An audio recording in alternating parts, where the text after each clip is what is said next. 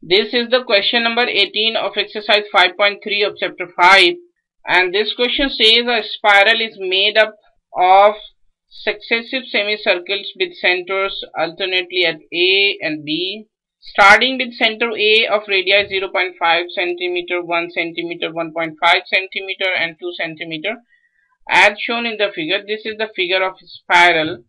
What is the total length of such a spiral made up 13 consecutive semicircles.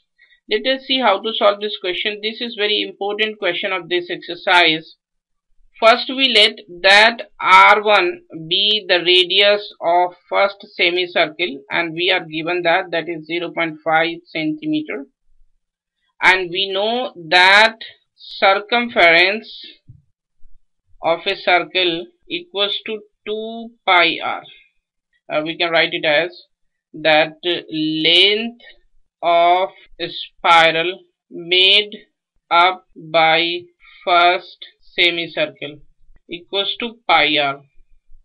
And what is r? R is 0.5 therefore this is equals to 0.5 pi centimeter. Same as we can write that the length of spiral made up by second semicircle equals to what is the radius? The radius is 1.0 so this is 1.0 pi centimeter.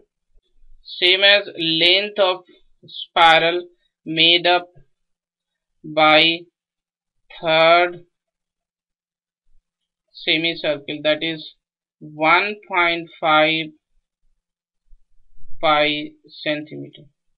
So now we have our AP and AP is as follow that 0 0.5 pi 1 pi 1.5 pi and it is up to 13 semicircles. Therefore we have our first term equals to 0.5 pi common difference is also 0.5 pi and n is 30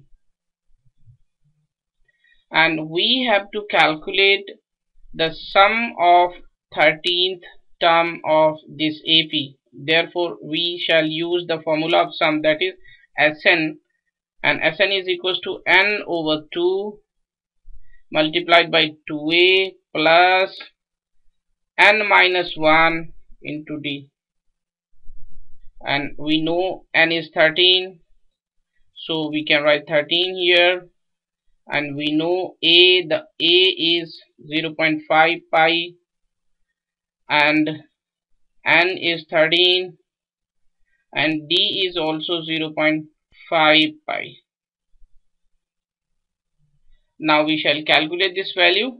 This is 13 over 2 and if we multiply 0.5 with 2 we get 1 pi. And here is 13 minus 1 means 12 12 into 0.5 means 6 pi. Therefore this is equals to 13 over 2 multiplied by 7 pi.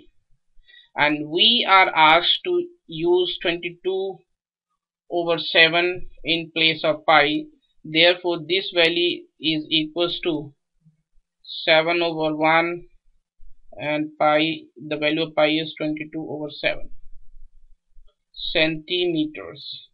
Now we can cancel out this 7 with this 7 2 with this 22 and this is equals to 143 centimeter. So the total length of spiral equals to 143 centimeter. This is the solution of the question. Thank you